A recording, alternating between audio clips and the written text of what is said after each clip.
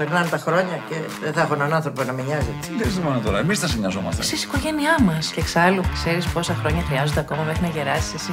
Άσε μας ρε μαμά. Πρέπει να τσεκάρεις ζάχαρη, χολυστερίνη, καρδιολόγο, γαστρεντερολόγο, ενδοκρινολόγο. Δεν έχεις και καμιά ειδικότητα απ' έξω. Ηλεκτρολόγο.